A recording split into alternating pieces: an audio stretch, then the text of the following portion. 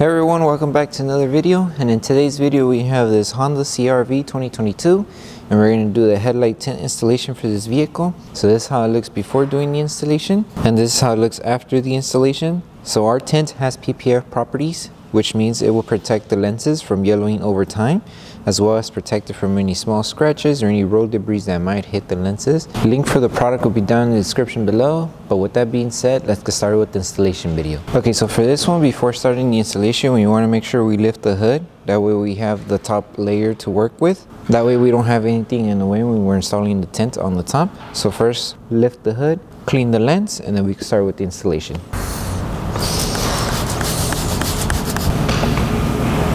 So to start off the installation, just apply slip solution onto the lens and slip solution onto the tint as well.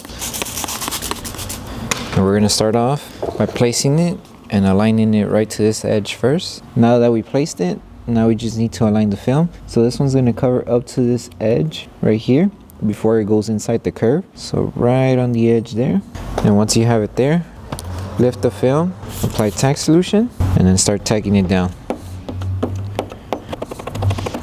and we're tacking down a good amount of the film. That way we're able to stretch the film going that way and making sure we align it on this end as well.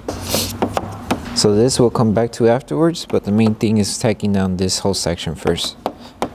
And now that this section is tacked down we're just going to finish off and continue here. Make sure we go base on the alignment of the headlight here. So just hold it in position spray tack solution and start tacking it down just so we can secure it in place These fingers will remove once we stretch the film going this way. So now we're able to stretch the film. So with this one, we want to stretch it going down here. So align it here and make sure you're aligning it on top as well.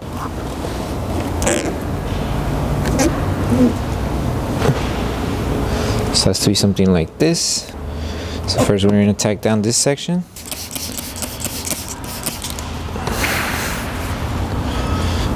Just tack it down. And then we just finish off by stretching and aligning it to the edge here.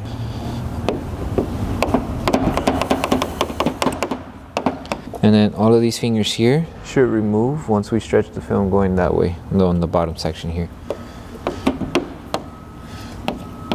Okay now that we secured this side now we just move on with remove stretching this film up to here and that should help removing these fingers here so just start stretching little by little until you meet it up to the edge here. So roughly around there. To help it tack down just apply tack solution. So we stretch and we meet it right on the edge here. Once we have it on the edge we can start tacking this section down and make sure it's aligned when you're doing this section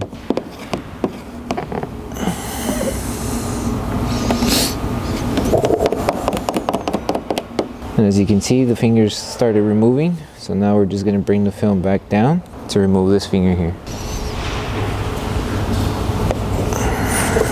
So just bring the film down and apply tack solution. That way you would a glider or squeegee without creasing the film. As you can see, the fingers that we had here, they're not as big as they were before. So now all we have to do is just apply tack solution and just squeegee at an angle and bring them down little by little.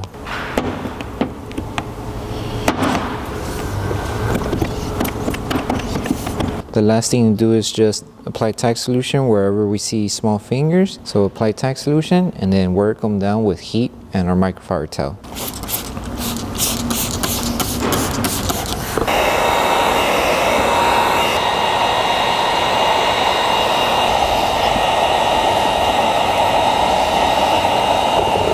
Okay, and the last thing to do once you finish doing the whole installation is just post heating all around. That way we help the adhesive on the film activate faster and remove any fingers that are still coming up. So just apply your tack solution all around and with heat and we finish it off.